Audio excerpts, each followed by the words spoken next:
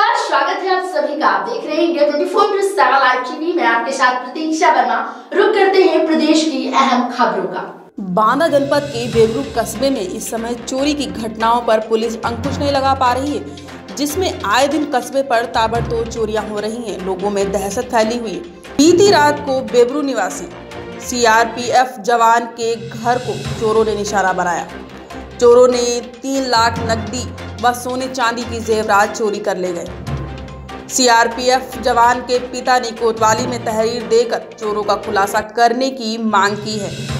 India twenty four to seven live TV के लिए शिव विलास शर्मा की। क्या नाम है आपका? राम खिलाओ राम खिलावन ये कौन सी जगह है? मरका रोड सिपरास स्कूल की बगल में। अच्छा क्या घटना हुई है यहाँ पर? यहाँ साहब घटना हुई कि रात के हम सो गए तो वहाँ से जीना से खुल खुला रहा। तो वहाँ से कूद के अब आँगन में आए। आँगन से दरवाज़ा खोल के अब भीतर घुस गए।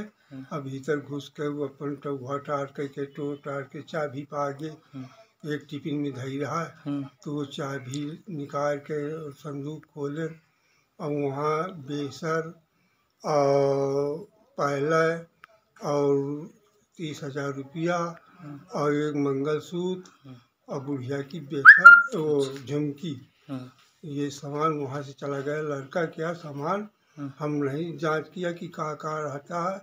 उसका जो सामान तो क्या लड़का नहीं था क्या यहाँ? लड़का अयोध्या में रहता है अच्छा। ड्यूटी करता है। काहे में ड्यूटी करता है? सी आर पी हमारा अच्छा सीआरपीएफ में है।